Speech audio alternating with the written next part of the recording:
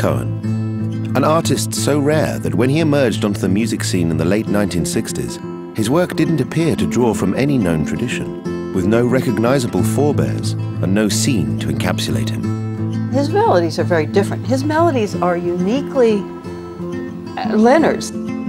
There's no real direct line of musical influence that I can hear. These songs are staggering. They're staggering. Yet both as a writer and a musician, Cohen was drawing inspiration from the past. And these influences fused with Cohen's own sensibilities to create a unique body of work.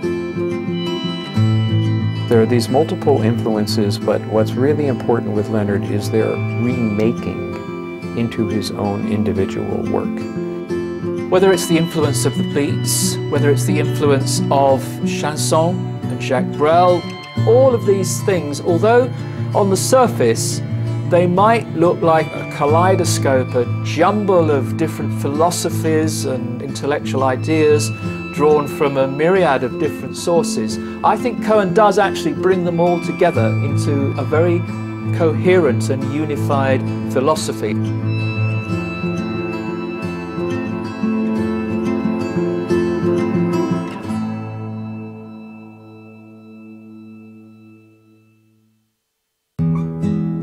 Songs of Leonard Cohen. Issued in 1967, it was one of the most startling debuts of the decade. Yet in a year that saw the emergence on record of a number of artists, including The Doors, Jimi Hendrix and David Bowie, Cohen's noticeably stood apart from the crowd. The work of a 33-year-old Canadian who was clearly not a product of the counterculture. I think it was immediately evident that Cohen was quite different from anything else around. He was in the folk scene, if you like, but he certainly wasn't of it. He comes from a quite different place. He's a, a very worldly man by the time he appears on the musical stage, uh, and he brings with him a whole raft of influences that uh, uh, were very unusual, if not unique, in the world of rock and roll at that time.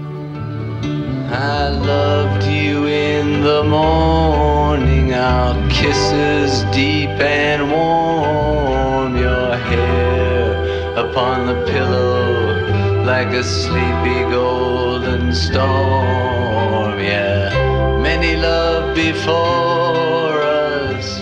I know we are not new in city and in forest. They smile like me but now it's come to distances, and both of us must try. Your eyes are soft with sorrow. Hey, that's no way to say goodbye.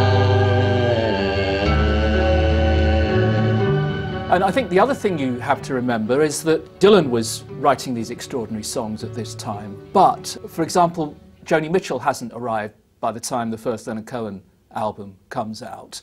Uh, so you've got, you've got the people who've come out of the protest folk movement, the, the, the Tom Paxtons and the Phil Ochs, Tom Rush, Tim Buckley, um, but they're quite different. I think with, with the emergence of Cohen, you, you really do see the, the beginnings of that introspective troubadour movement that came to the fore in the early 1970s. This introspection was due in part to Cohen's artistic background.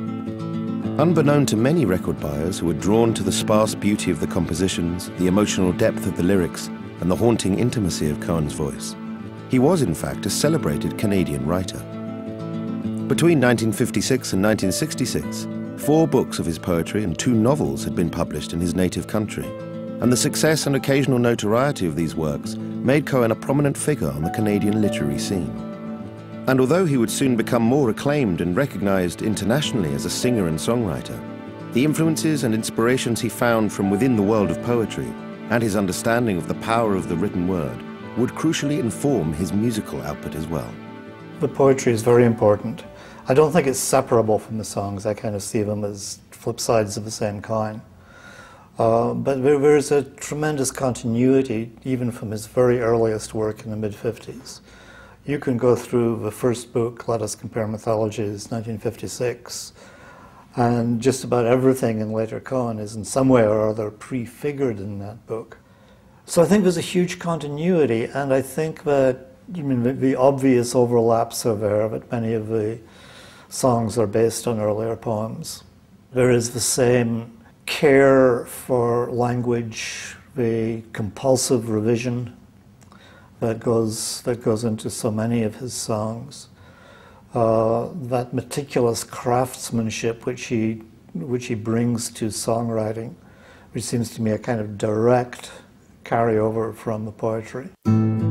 Born into a middle class Jewish family in Montreal, Canada, Cohen had first become interested in poetry while at high school, penning his first lines of verse and discovering the work of many influential figures during his mid teens.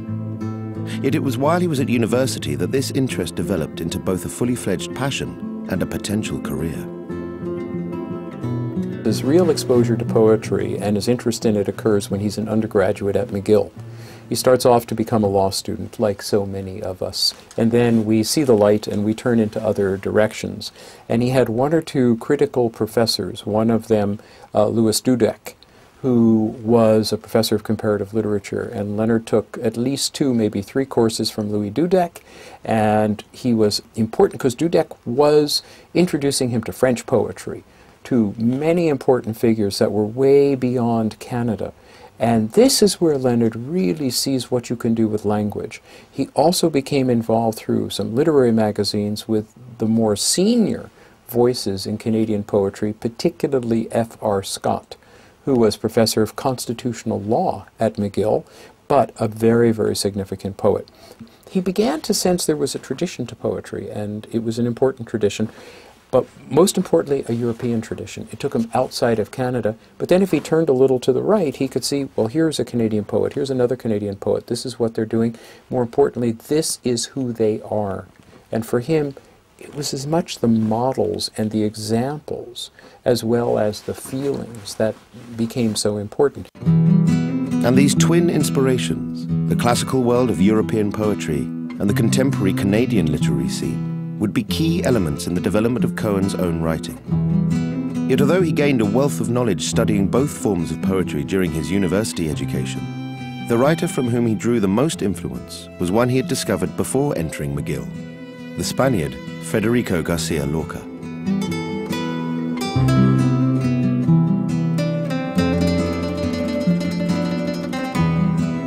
Federico Garcia Lorca was a Spanish poet born in 1898 and died in 1936 at the age of 38 and was the preeminent poet of his generation, poet and playwright.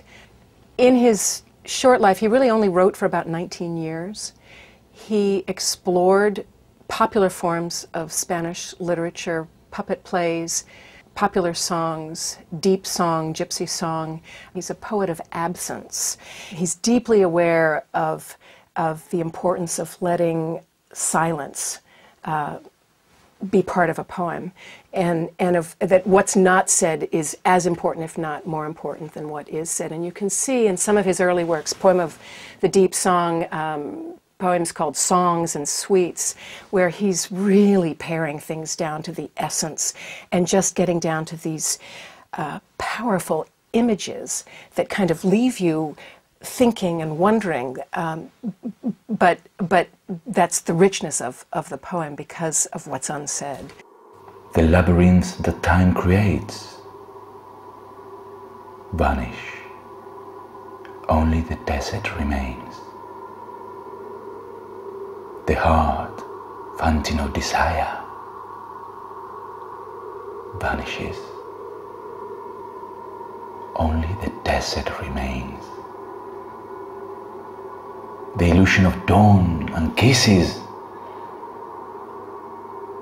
vanish. Only the desert remains. Undulating desert. Lorca was an elegist. He touches on the issues that concern